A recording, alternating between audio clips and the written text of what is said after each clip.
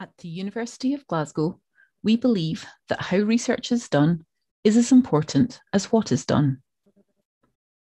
The university strongly encourages the adoption of open research practices across our full range of disciplines, and our hiring and promotion criteria both reward a commitment to open research. Open research refers to the early and wide sharing of research at different stages of the life cycle,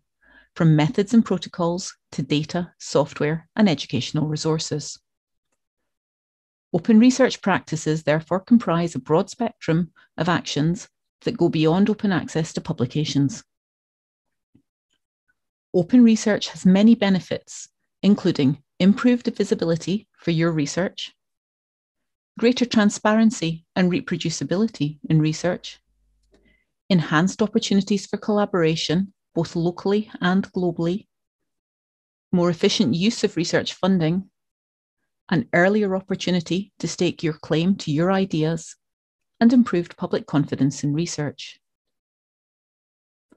Open research practices include creating a data management plan for projects which will collect or create data, pre registering your study methodology, specifying your research plan in advance of conducting your study,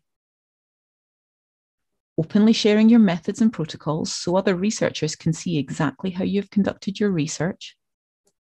sharing new research as preprint publications, giving others the opportunity to comment and provide early feedback, making published work open access, increasing the visibility and reuse of your results,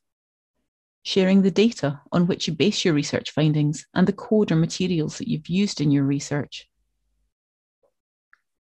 including data availability statements and outputs, ensuring a permanent link between your related research outputs,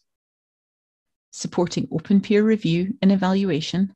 making reviewer and author identities open, publishing review reports, and enabling greater participation in the peer review process.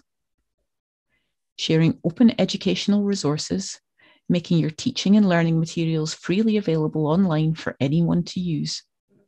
sharing non traditional outputs with the potential for societal impact, and adding author contribution statements to outputs to clarify the contributions from different authors. Open research practices apply to all research disciplines, if in different ways. In some cases, it might be necessary to limit open research. This might be the case, for example, where research has dual use, when it has implications for public health, or where it might include identifying personal information about a participant. The university will help to support open research by embedding identifiers such as ORCID and Scopus Author ID into our research output repositories so that CRediT can be traced back to the researcher,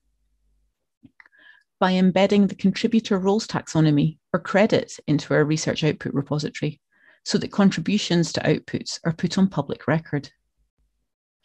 by providing training and support for open access and research data management,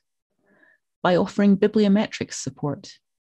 in signing the San Francisco Declaration on Research Assessment, or DORA, the university has reinforced its commitment to the responsible use of research indicators when evaluating research. By providing training and advice on research integrity and research ethics, and by supporting funder policies which mandate or require open research practices. Open research has huge benefits for individuals, the institution, and for society as a whole by ensuring that as a community, we are better able to build on each other's work.